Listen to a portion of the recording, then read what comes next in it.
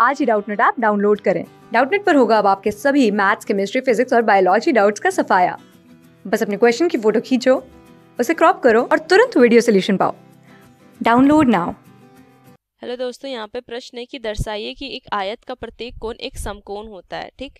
तो हमें बताना कि मान लीजिए ए बी सी डी एक आयत, इसके सारे सभी कोण समकोण होंगे, ठीक?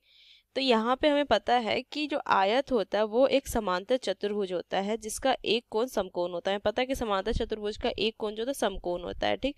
तो मान लीजिए ये एबीसीडी एक आयत है, जिसका जो कोण ए है, वो नब्बे डिग्री है, ठीक? ठीक?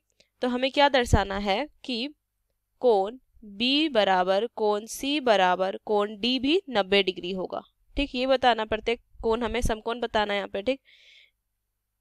तो चलिए इसको हल करते हैं। तो यहाँ पे देखिए, जो ए डी है, वो हमारा समांतर है बी सी के, ठीक? और जो ए बी है, देखिए यहाँ से ए डी है, वो समांतर है बी सी के, ठीक? और जो ए बी है, वो एक तिरक रेखा है, ठीक? यहाँ पे लिखेंगे और ए बी एक तिरक रेखा है। ठीक तो यहाँ से क्या लिख सकते हैं कि कोण ए जोड़ कोण बी बराबर 180 होगा, क्यों? तिरक रेखा के एक ही ओर के अंत कोण है तो इनका जो मान मान होता है दोनों का, वो होता है 180 ठीक? तो यहाँ से क्या हो जाएगा, कोण ए हमें दिया है 90 तो कोण बी यहाँ से क्या हो जाएगा, कोण बी यहाँ से हो जाएगा 180 माइनस नब्बे, क्योंकि कोण ए नब्बे है, ठीक? तो कोण बी भी क्या हो जाएगा, यहाँ से नब्बे हो जाएगा, ठीक? यहाँ से हो गया। चलिए और आगे हल करते हैं। तो यहाँ से देखिए, जब कौन ए हम कौन बी हमारा नब्बे है तो कौन सी क्या हो जाएगा? कौन सी हमारा जो हो जाएगा कौन ए के बराबर होगा।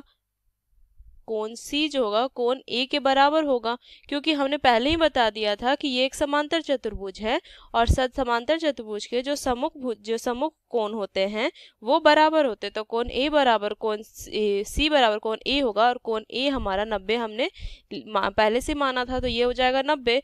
और कौन बी अगर हमारा नब्बे है तो कौन बी के जो सम्मुख कोण होंगे, वो कौन डी हो जाएँगे तो वो भी हो जाएँगे नब्बे, ठीक?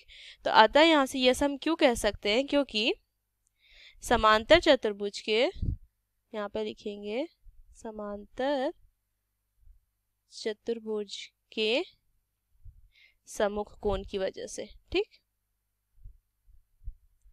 सम्मुख कोण की वजह से, ठीक? तो अगर जब देखिए ये चारों हमारा नब्बे डिग्री हो गया तो यहाँ से लिख सकते हैं कि अतः आयत का प्रत्येक कोण यहाँ से। प्रत्येक कोण समकोण होता है।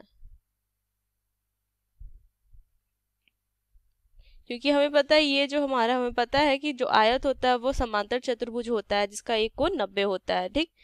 तो यहाँ से हमने इस प्रश्न का, यहाँ पे इसको हमने दर्शा दिया। तो आशा करती हूँ दोस्तों, ये प्रश्न आपको समझ में आया हो। धन्यवाद। क्लास सिक्स से ट्वेल्थ से लेके NEET I I T JEE mains और एडवांस के लेवल तक। दस मिलियन से ज़्यादा स्टूडेंट्स का भरोसा। आज ही डाउनलोड करें डाउट नेट आप या व्हाट्सअप कीजिए अपने डाउट्स आठ चार सौ चार सौ चार सौ पर।